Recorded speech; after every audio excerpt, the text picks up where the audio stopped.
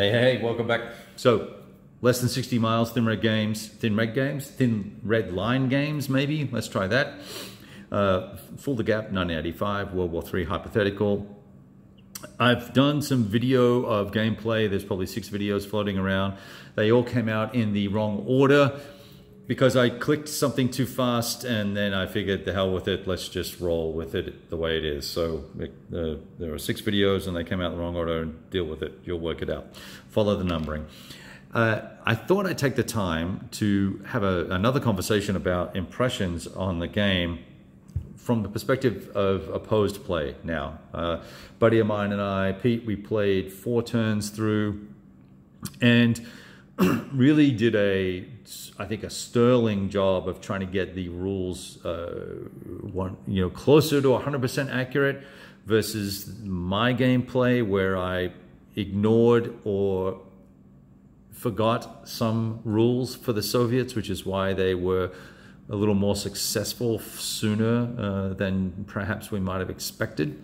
But there's one thing that uh, we, a couple of conclusions we came to, and I'm not going to get into actually, this will probably be a long video, but for good reasons.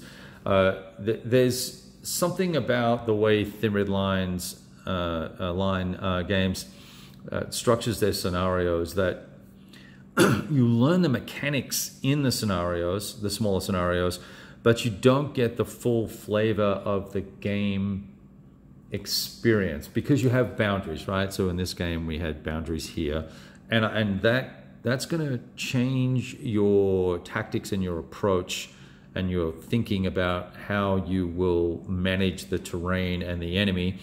And the enemy is going to manage and change what they do and how they react to you, knowing that you're going to come within certain boundaries.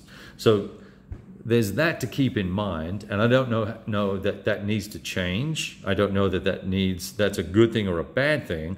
I just know that it impacts the scenario gameplay and the scenario gameplay is a smaller scenario gameplay is not representative of the campaign gameplay.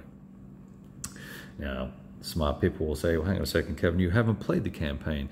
Well, based on my experience with uh, the, the, Next War uh, uh, game, uh, Under an Iron Sky, it is very different, right? So, that, so there's that, uh, and the, the, their scenarios have the same problem.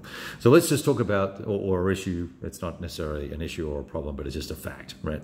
So there's that to keep in mind. Don't walk away from the game system because you don't like the way a smaller scenario plays out. I think it, we all owe ourselves the gameplay of the campaign to fully judge the system. Now, fortunately, today we played a smaller scenario. We played a 14 turn scenario. We only got four turns done. And it was really an opportunity for Pete to experience combat and movement. And unfortunately, Pete's die roll sucked. So he rolled two ones on two combats and I think a two on a third combat.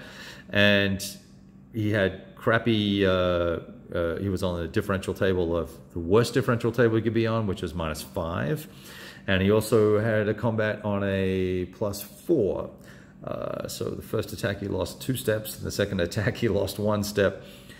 And there was a level of frustration I could see was building with Pete. And uh, he said, "Hey, look, you know, we go through all these, all these steps here, and let me show you a couple of things while I'm talking to you." Uh, if I can find it. Here it is. It. So there, so there is a, and Pete made the comment of it, of things being procedural, right? So here's our combat sequence. There are 11 steps to go through. Some of them are pretty straightforward, you know, picking who's attacking, uh, working out who's defending, and then then you start doing some math. You're doing some combat combat differentials. Then you work out uh, all your uh, combat support and all this sort of good stuff here, electronic warfare and support modifiers and all these other things, right? So you, you, there's seven or eight steps here that matter, all the rest are fluff. But in the combat modifiers, there are also a number of things that need to happen, right? You've got to make sure that you do your math on posture, uh, look at nationality if there's any of that, uh, but um, oh, nationality doesn't really matter in the scenario we are playing, but terrain and attrition points and uh, electronic warfare is going to be important. We'll talk about that in a sec. And then adjacency is another critical one, as is engagement, right? Now, those few things there, excluding the combat support role, right, are the, are the one of the key areas where you can make a, a significant impact upon the differential, the column you're going to resolve the combat on.